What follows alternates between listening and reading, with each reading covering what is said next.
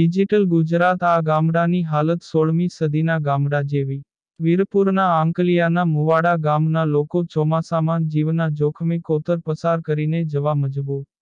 દર ચોમાસામાં સંપર્ક વિહોણું બનતું ગામ. તેત્રીસ પરિવારની લોકોની વેદના નથી સમજાતી તંત્રને.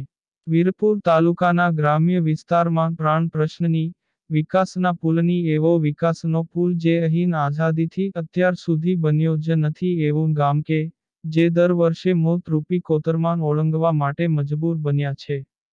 મહીસાગર જિલ્લામાં આવેલા વીરપુર તાલુકાનું પાસરોડા ગ્રામ પંચાયત વિસ્તારમાં આવેલ આંકલિયાના મુવાડા ગામ કે જ્યાં ગામમાં પ્રવેશવા માટે કોતરમાન પસાર કરીને જ જવું પડે છે. દર વર્ષે ચોમાસાના સમયમાં કોતરમાન નદીનું પાણી આવી જાય છે, જેના કારણે સ્થાનિક લોકોને ગળાડું પાણીમાંથી પસાર થવું પડે છે. જ્યારે આ સમસ્યા કેટલાક દાયકાઓથી ગામલોકો ભોગવી રહ્યા છે, ત્યારે પુલ બનાવવાની માંગને ઉચ્ચ કક્ષાએ રજૂઆત કરી ચૂક્યા છે, પરંતુ કોઈ નિકાલ આવતો નથી.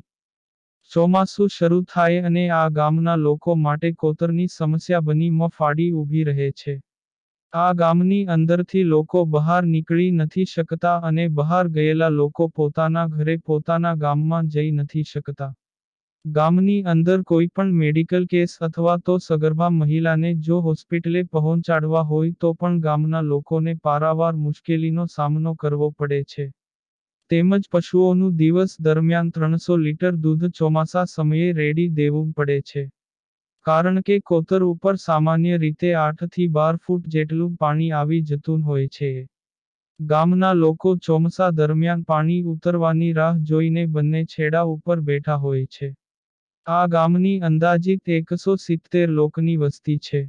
જેટલા લોકો સંપર્ક વિહોણા થઈ જતા હોય છે. માટે તાત્કાલિક તેનો કોઈ ઉકેલ લાવવામાં આવે તેવી સ્થાનિક લોકો દ્વારા માંગણી કરવામાં આવી રહી છે. તમને અમારા તકલીફ એ છે કે અમે આવવા જવા માટે રસ્તો સાડિયાથી મળી ઓકલ્યાના પોસોડા પેટી ઓકલ્યાનું મોડું આવ્યું લગભગ દોઢ કિલોમીટર તો હજ નહીં.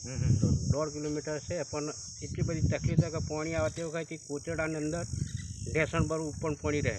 આવવા જવા માટે ઘણી જ મુશ્કેલી પડે. દૂધના માટે અમે દૈનિક બસો લીટર દૂધ ભરીએ હાલમાં. પણ દૂધ હાલમાં અમારા પાણી આવે એટલી પછી તમામ દૂધ ઘેર રહે. એટલી અમારી જીવનની રોજગારી જે તે વસ્તુ દૂધની છે એ બંધ થઈ જાય. પાછા અમારે કોઈ પણ માણસની તકલીફ પડે તે વખતે એકસો આઠ લાવી હતી એ પણ કોઈ કોઈ જગ્યાએ આવે ના. અને તે પછી અમે ખાટલામાં ગાલી અને પાણીમાં થઈ અને સાડિયા સ્ટેશન લાવીએ. અને વિદ્યાર્થીઓ તમામ અમારે કોઈ શાળા કે ઓગણવાડી કોઈ પણ સરકારી શાળા બાળા કશું ના મળે. એટલે અમે વિદ્યાર્થીઓ વિદ્યાર્થીઓ ભણવા માટે શાળિયા જ મોકલીએ બે પ્રાથમિક શાળામાં. એનો હોય. તમામ શિક્ષણ બગડે અને હાલમાં તમે જુઓ તપાસ કરો. શિક્ષણ બગડ્યું હોય કે નહીં? એ તમે તપાસ કરીને તમે અનુભવ થાય કે હા. અમારો તો ખાસ પ્રોબ્લેમ નિશાળનો જ છે. અમે લગભગ ચાલીસ છોકરો છીએ આ સારિયાથી ઓકલિયા સુધી જવાનો રસ્તો છે ને.